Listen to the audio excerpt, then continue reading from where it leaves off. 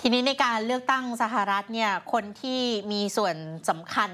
อีกกลุ่มหนึ่งนั่นก็คือกลุ่มผู้มีอิทธิพลทางความคิดทั้งหลายที่จะมาแสดงตัวสนับสนุนนะคะอีลอนมัสเองเนี่ยค่ะมหาเศรษฐีอันดับหนึ่งของโลกเราทราบกันอยู่แล้วว่าตอนนี้เนี่ยเขาเปลี่ยนมาสนับสนุนโดนัลด์ทรัมป์เขามีบทบาททางการเมืองกันแทบไม่เว้นแต่ละวันนะคะโดยเฉพาะการช่วยโดนัลด์ทรัมป์หาเสียงเลือกตั้งเนี่ยแต่วิธีการถูกวิพากษ์วิจารณ์กันเยอะมากทีเดียวนะก่อนหน้านี้มีเรื่องของลอตเตอรี่1ล้านบาทแจกเลยนะคะที่อืม โดนเตือนไปแล้วด้วยอืมแต่ทีนี้มันมีอีกเรื่องหนึ่งข้อคอรหาเนี่ยมันไปไกลกว่าประเด็นในประเทศแล้วด้วยนะคะคุณทิพย์ตะวัน เพราะว่ามีรายงานบอกว่าอีลอนมัสเนี่ยเขาติดต่อพูดคุยแล้วมีสัมพันธ์อันดีกับผู้นำสหเอ่อผู้นำรัสเซียอย่างปูตินมา 2 ปีแล้วเหรอคะใช่ค่ะ ต้องบอกว่ากระแสข่าวนี้เนี่ยแม้ว่าจะยังไม่มีใครออกมายืนยันอย่างเป็นทางการในตอนนี้ หรือแม้กระทั่งตัวรัฐบาลรัสเซียเองเนี่ยออกมาปฏิเสธนะคะ แต่ว่าประเด็นเนี้ยถือเป็นประเด็นใหญ่ที่มองข้ามได้ยากค่ะ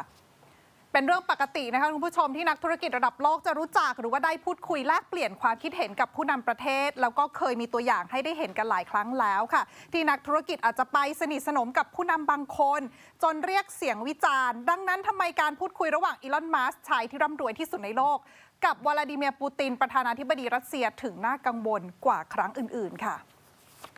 ประเด็นแรกนะคะเป็นเพราะธุรกิจของอีลอน มัสเองค่ะ ซึ่งอาจจะทำให้สุ่มเสี่ยงต่อการร่วนไหลของข้อมูล และกระทบกับความมั่นคงของสหรัฐยกตัวอย่างที่ชัดเจนที่สุดค่ะ นั่นก็คือ SpaceX นะคะ ซึ่งมีโครงการพัฒนาด้านอวกาศ และจรวดร่วมกับนาซาและกระทรวงกลาโหมสหรัฐมากมาย หลายโครงการเป็นโครงการลับสุดยอดค่ะ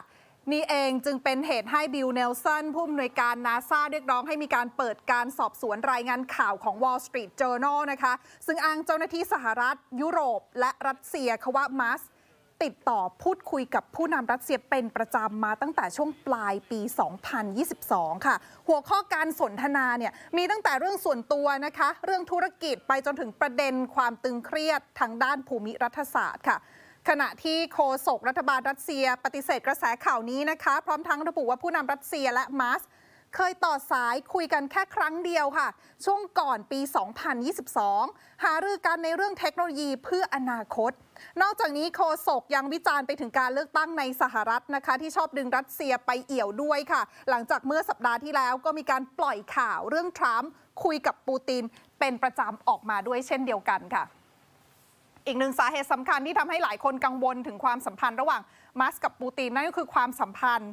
ของมัสกับโดนัลด์ทรัมป์ที่มีความใกล้ชิดกันมากขึ้นในระยะหลังๆ มานี้ค่ะ โดยเฉพาะในเรื่องของเงินเงินทองทองคุณผู้ชม เพราะนับตั้งแต่มัสประกาศสนับสนุนทรัมป์อย่างสุดตัว เมื่อช่วงกลางเดือนกรกฎาคมที่ผ่านมา เขาจัดตั้งอเมริกาแพ็กนะคะ ซึ่งเป็นกลุ่มเคลื่อนไหวทางการเมืองเพื่อช่วยหาเสียงเลือกตั้งค่ะ จนถึงปัจจุบันอเมริกาแพ็กเขาระดมเงินทุน แล้วก็ใช้เงินดังกล่าวไปกับการรณรงค์หาเสียงเลือกตั้งแล้วมากกว่า 137 ล้านดอลลาร์สหรัฐ หรือมากกว่า 4,500เอ่อ4,600 ล้านบาทค่ะ เกินครึ่งคุณผู้ชมหรือกว่า 2,500 ล้านบาทเนี่ยถูกใช้เพื่อรณรงค์สนับสนุนพรรครีพับลิกันนะคะ ส่วนที่เหลือเนี่ยใช้ไปกับการต่อต้านคู่แข่งค่ะ ขณะที่ถ้าเราแยกมาดูเฉพาะที่มัสบริจาคเงินผ่านอเมริกาแพ็กนะคะมีกว่า 118 ล้านดอลลาร์สหรัฐหรือเกือบ 4,000 ล้านบาท นอกจากนี้เขายังจ่ายอีกวันละ 1 ล้านดอลลาร์สหรัฐ ให้กับผู้ลงทะเบียนเลือกตั้งที่มาร่วมชิงรางวัลด้วยโดย ตอนนี้แจกไปแล้ว 8 วัน 8 ล้านดอลลาร์นะคะแล้วก็จะจ่ายไปเรื่อยๆ จนถึงวันเลือกตั้ง แม้ว่าจะถูกวิพากษ์วิจารณ์ว่า การกระทำดังกล่าวเนี่ยเข้าข่ายผิดกฎหมายก็ตามค่ะ มัสเองไม่ได้ลงทุนอย่างเดียวคุณผู้ชม แต่ว่าลงแรงด้วยค่ะอย่างในหน้าเพจของเขา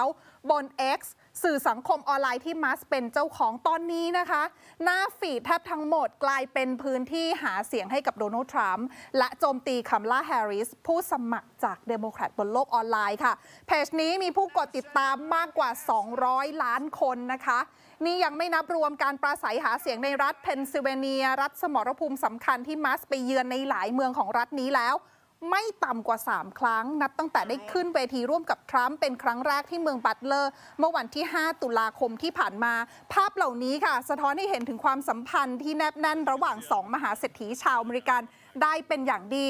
ขณะที่คอการเมืองอเมริกันบางคนนะคะเขาถึงขั้นออกมาบอกว่า ในช่วงนี้เห็นภาพของอีลอน มัสก์เดินสายหาเสียงแล้วก็ออกสื่อ เพื่อเรียกคะแนนนิยมให้ทรัมป์บ่อยกว่าเจดีแวนส์ผู้สมัครชิงตำแหน่งรองประธานาธิบดีจากริพับลิกันเสียอีกค่ะ ซึ่งบ่อยจนถึงขั้นที่ทิมวอลส์นะคะ คู่แข่งจากเดโมแครตเขาออกปากแซวเขาว่าจริง ๆ แล้วเนี่ยอีลอน มัสก์เป็นคู่หูตัวจริงของโดนัลด์ ทรัมป์หรือเปล่านะคะ ที่ต้องจับตาดูในตอนนี้คือถ้าทรัมป์ชนะการเลือกตั้งขึ้นมาจริงๆนะคะแล้วก็แต่งตั้งมัสก์ให้เป็นเจ้าหน้าที่ดูแลเรื่องของการใช้จ่ายงบประมาณของรัฐบาลชุดใหม่ด้วยแล้วเนี่ยจุดนี้น่าจะยิ่งเพิ่มความกังวลเป็นวงกว้างค่ะ แล้วก็ต้องไม่ลืมด้วยว่าอีลอนมัสยังมีธุรกิจในประเทศที่สหรัฐมีประเด็นด้วยอย่างจีนนะคะ คุณเจษตาคุณพึ่งนภาคะ อีลอน มัสเองเคยเจอกับสีจิ้นผิงด้วย แล้วก็มีโรงงานเทสลาอ่าอยู่ในประเทศจีนด้วย ถ้าสมมุติว่าทรัมป์ชนะแล้วมัสได้อยู่ในรัฐบาลของทรัมป์จริงๆ ก็อาจจะต้องมีเรื่องต้องเคลียร์กันค่อนข้างเยอะทีเดียวค่ะ ขอบคุณค่ะ